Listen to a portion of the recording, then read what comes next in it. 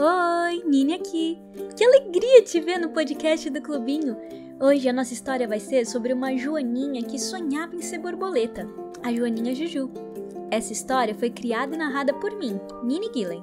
Então prepare a imaginação e preste bastante atenção, que a nossa história já vai começar.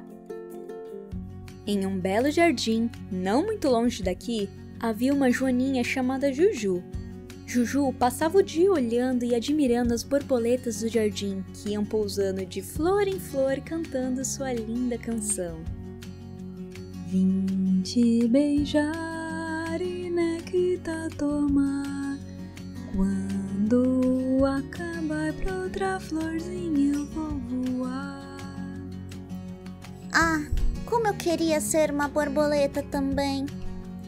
Lamentava Juju dia e noite para sua mãe, que sempre lhe falava. É muito importante termos a quem admirar, só que mais importante é aprender a se aceitar.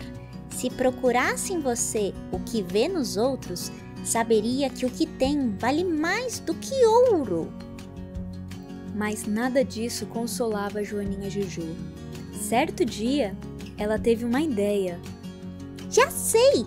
Vou me fantasiar de borboleta e sair por aí pousando de flor em flor e cantando também.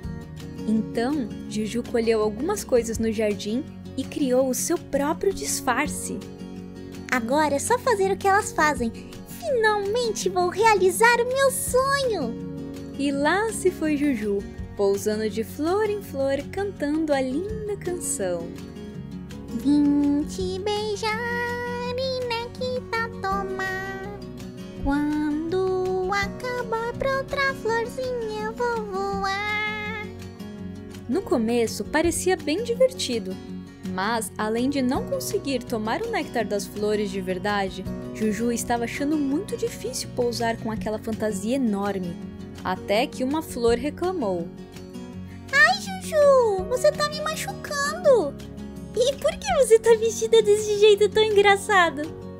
Eu não sou Juju, sou uma linda borboleta. A flor, que não era nada boba, entendeu o que estava acontecendo e resolveu entrar na brincadeira. Sinto muito, dona Borboleta. É que você parece muito com uma amiga minha chamada Juju. Falando nisso, você a viu por aí? Juju, que não gostou nada da pergunta, respondeu: Não conheço nenhuma Juju. Agora preciso ir. Tenho muitas flores para pousar. Tudo bem, mas se por acaso você ver uma linda joaninha chamada Juju, diga a ela que esse canteiro está precisando muito dela. Os pulgões estão nos atacando novamente e não há ninguém para nos ajudar aqui. Juju sabia que, como Joaninha, era o seu dever proteger as flores dos terríveis pulgões. Mas agora não. Agora ela era uma linda borboleta e não tinha tempo para isso. Mais tarde, quando voava toda desengonçada para outra flor, ela ouviu um menino falando para o outro: Ei, olha aquela borboleta esquisita voando! Vamos ver quem pega ela primeiro? Juju, que nunca havia sido caçada antes por meninos serelepes, não entendeu o que eles queriam dizer, até vê-los correndo para sua direção com redes nas mãos. Morrendo de medo dos meninos que corriam atrás dela gritando, ela voou tão rápido quanto conseguia para uma plantação de rosas cheias de espinhos e ali se escondeu. Aqui eles não vão me achar. Não sabia que podia ser tão perigoso assim ser uma borboleta. Por que será que elas não se escondem aqui se são tão perseguidas assim? E foi só na hora que teve coragem de sair da roseira que uma de suas asas ficou presa em um espinho. Ah, tinha esquecido que agora tem essas asas gigantes. Mas acho que se eu voar com um pouquinho mais de força, eu. Ah, não! Rasguei um pedaço da asa da minha linda fantasia. E agora, o que vou fazer? Antes mesmo de terminar de se lamentar, Juju percebeu que estava sendo observada.